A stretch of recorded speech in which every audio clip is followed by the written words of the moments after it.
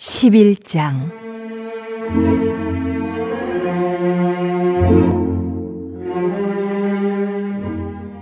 이스라엘이 어렸을 때에 내가 사랑하여 내 아들을 애굽에서 불러냈거늘 선지자들이 그들을 부를수록 그들은 점점 멀리하고 바알들에게 제사하며 아로새긴 우상 앞에서 분양하였느니라. 그러나 내가 에브라임에게 걸음을 가르치고 내 팔로 안았음에도 내가 그들을 고치는 줄을 그들은 알지 못하였도다 내가 사람의 줄 곧 사랑의 줄로 그들을 이끌었고 그들에게 대하여 그 목에서 멍에를 벗기는 자같이 되었으며 그들 앞에 먹을 것을 두었노라.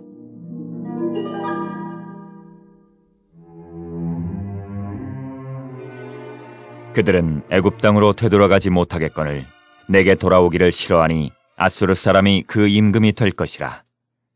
칼이 그들의 성읍들을 치며 빗장을 깨뜨려 없이 하리니 이는 그들의 계책으로 말미암음이니라.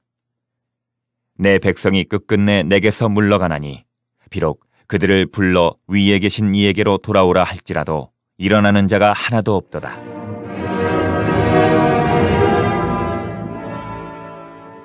에브라임이여 내가 어찌 너를 놓겠느냐 이스라엘이여 내가 어찌 너를 버리겠느냐 내가 어찌 너를 아드마같이 놓겠느냐?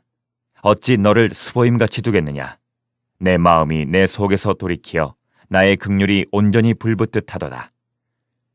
내가 나의 맹렬한 진노를 나타내지 아니하며 내가 다시는 에브라임을 멸하지 아니하리니 이는 내가 하나님이여 사람이 아님이라. 내 가운데 있는 거룩한 이니 진노함으로 내게 임하지 아니하리라 그들은 사자처럼 소리를 내시는 여호와를 따를 것이라. 여호와께서 소리를 내시면 자손들이 서쪽에서부터 떨며오되 그들은 애굽에서부터 새같이 아수르에서부터 비둘기같이 떨며오리니 내가 그들을 그들의 집에 머물게 하리라. 나 여호와의 말이니라.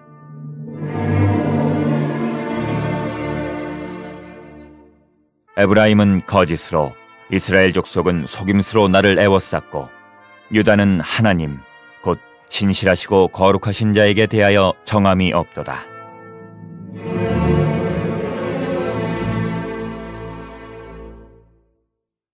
12장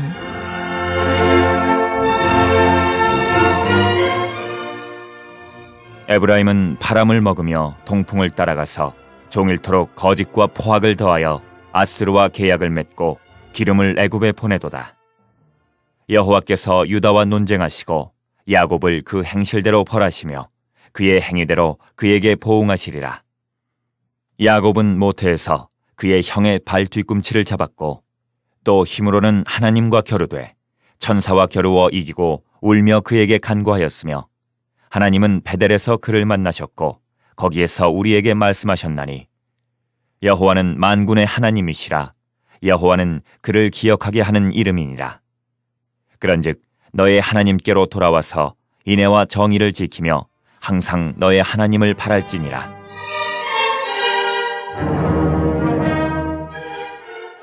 그는 상인이라 손에 거짓 저울을 가지고 속이기를 좋아하는도다 에브라임이 말하기를 나는 실로 부자라. 내가 재물을 얻었는데 내가 수고한 모든 것 중에서 죄라 할 만한 불의를 내게서 찾아낼 자 없으리라. 하거니와 네가 애굽 땅에 있을 때부터 나는 네 하나님 여호와니라. 내가 너로 다시 장막에 거주하게 하기를 명절날에 하던 것 같게 하리라. 내가 여러 선지자에게 말하였고 이상을 많이 보였으며 선지자들을 통하여 비유를 베풀었노라. 길라앗은 불의한 것이냐? 과연 그러하다. 그들은 거짓되도다. 길갈에서는 무리가 수송아지로 제사를 드리며 그 제단은 바디랑에 쌓인 돌무더기 같도다 야곱이 아람의 들로 도망하였으며 이스라엘이 아내를 얻기 위하여 사람을 섬기며 아내를 얻기 위하여 양을 쳤고 여호와께서는 한 선지자로 이스라엘을 애굽에서 인도하여 내셨고 이스라엘이 한 선지자로 보호받았거늘 에브라임이 경노하게 함이 극심하였으니 그의 주께서 그의 피로 그의 위에 머물러 있게 하시며 그의 수치를 그에게 돌리시리라.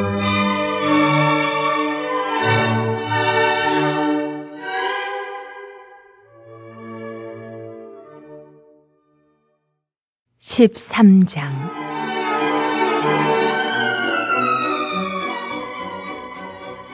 에브라임이 말을 하면 사람들이 떨었도다. 그가 이스라엘 중에서 자기를 높이더니 바알로 말미암아 범죄함으로 망하였거늘. 이제도 그들은 더욱 범죄하여 그 은으로 자기를 위하여 우상을 부어 만들되 자기의 정교함을 따라 우상을 만들었으며 그것은 다 은장색이 만든 것이거늘 그들은 그것에 대하여 말하기를 제사를 드리는 자는 송아지와 입을 맞출 것이라 하도다. 이러므로 그들은 아침 구름 같으며 쉬 사라지는 이슬 같으며 다장마당에서 광풍에 날리는 쭉정이 같으며 굴뚝에서 나가는 연기 같으리라.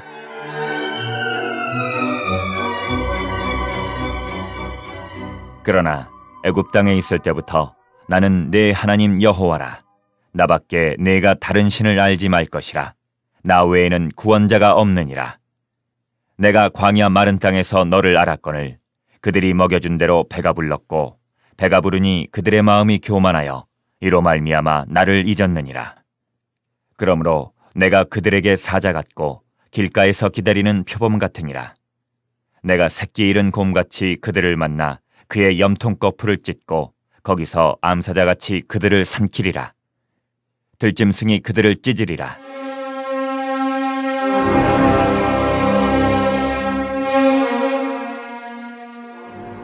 이스라엘아, 내가 패망하였나니 이는 너를 도와주는 나를 대적함이니라. 전에 내가 이르기를 내게 왕과 지도자들을 주소서. 하였느니라. 내 모든 성읍에서 너를 구원할 자, 곧 내 왕이 이제 어디 있으며 내 재판장들이 어디 있느냐.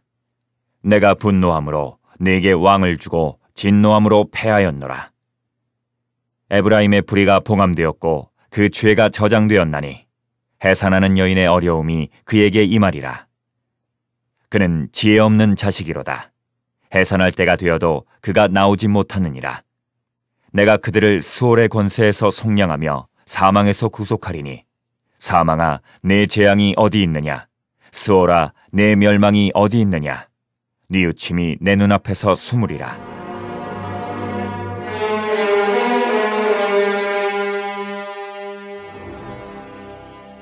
그가 비록 형제 중에서 결실하나 동풍이 오리니 곧 광야에서 일어나는 여호와의 바람이라 그의 근원이 마르며 그의 샘이 마르고 그 쌓아둔 바 모든 보배의 그릇이 약탈되리로다.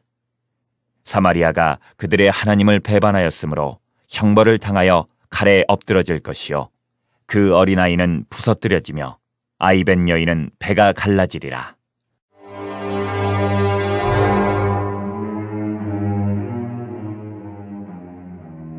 (14장) 이스라엘아 내 하나님 여호와께로 돌아오라 네가 불의함으로 말미암아 엎드려졌느니라 너는 말씀을 가지고 여호와께로 돌아와서 아뢰기를 모든 불의를 제거하시고 선한 발을 받으소서. 우리가 숫송아지를 대신하여 입술의 열매를 주께 드리리이다. 우리가 아수르의 구원을 의지하지 아니하며 말을 타지 아니하며 다시는 우리의 손으로 만든 것을 향하여 너희는 우리의 신이라 하지 아니하오리니 이는 고아가 주로 말미암아 긍휼을 얻음이니이다. 할지니라.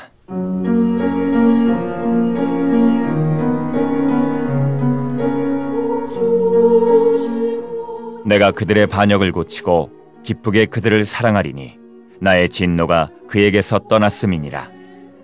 내가 이스라엘에게 이슬과 같으리니 그가 백합화 같이 피겠고 레바논 백향목 같이 뿌리가 박힐 것이라 그의 가지는 퍼지며 그의 아름다움은 감람나무와 같고 그의 향기는 레바논 백향목 같으리니 그 그늘 아래에 거주하는 자가 돌아올지라. 그들은 곡식같이 풍성할 것이며 포도나무같이 꽃이 필 것이며 그 향기는 레바논의 포도주같이 되리라. 에브라임의 말이 내가 다시 우상과 무슨 상관이 있으리요? 할지라. 내가 그를 돌아보아 대답하기를 나는 푸른 잣나무 같으니 내가 나로 말미암아 열매를 얻으리라. 하리라 누가 지혜가 있어 이런 일을 깨달으며 누가 총명이 있어 이런 일을 알겠느냐 여호와의 도는 정직하니 의인은 그 길로 다니거니와 그러나 죄인은 그 길에 걸려 넘어지리라